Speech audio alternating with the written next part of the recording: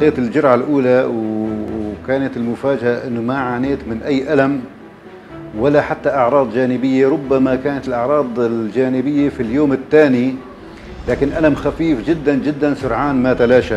أخذت جرعة كوفيد قبل شهرين والحمد لله لم أشعر بأي أعراض جانبية أو أي شيء. والآن أخذ الجرعة الثانية. أخذنا آه، في 72 ساعة الأخيرة أكثر من 100 مسحة يوميا. أغلب نتائج المسحات إيجابية.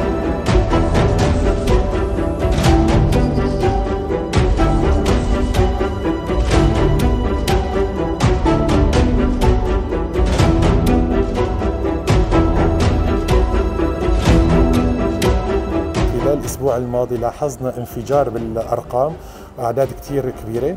آه، الحالات اللي عم تراجعنا عم تكون في عنا حالات سريرية. تحتاج عناية مشددة. في عنا حالات متوسطة في عنا حالات آه، تستدعي حجر المنزلي.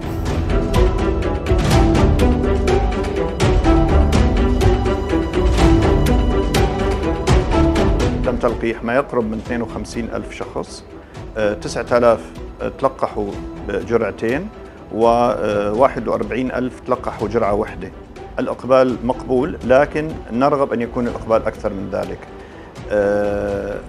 يعني نظرا لانتشار الفيروس المتحور دلتا في شمال غرب سوريا الذي يتميز بسرعة الانتشار من شخص لآخر وأنه يصيب الأطفال.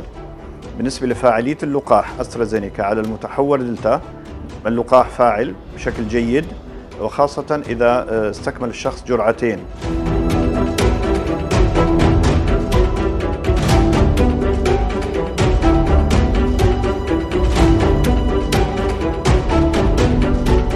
الالتزام بقواعد الوقاية الشخصية ارتداء الكمامة كلما أمكن ذلك والتباعد وعدم الاقتراب من الازدحام وعدم المصافحة وعدم المعانقة عدم زيارة مريض كورونا.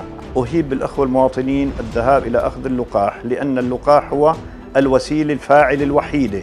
إضافة طبعا إلى استعمال الكمامة والمباعدة الجسدية وغسل الأيدي بشكل مستمر.